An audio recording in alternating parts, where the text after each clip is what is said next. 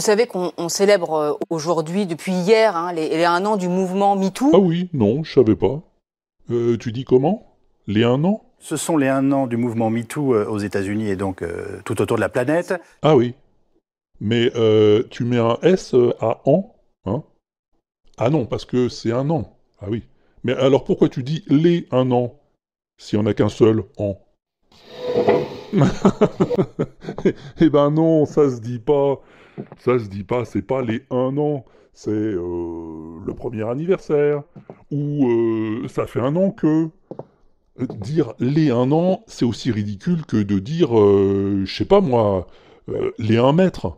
Avec ses 1m75 et sa taille 36, elle arpente les podiums. Ah oui, alors mais là tu vas me dire, c'est 1m75. C'est plus qu'un mètre. Donc on peut dire les, hein Hein? Hein? Eh ben non.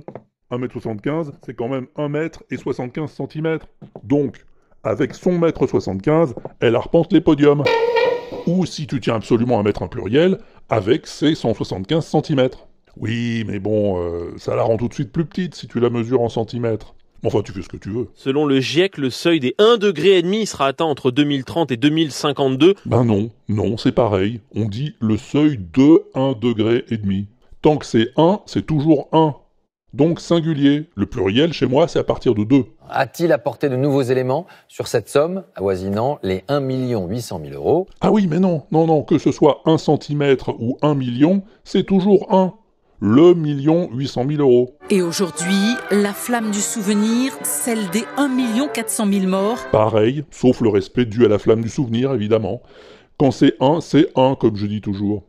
Et pas besoin de te donner ma langue pour ça, hein.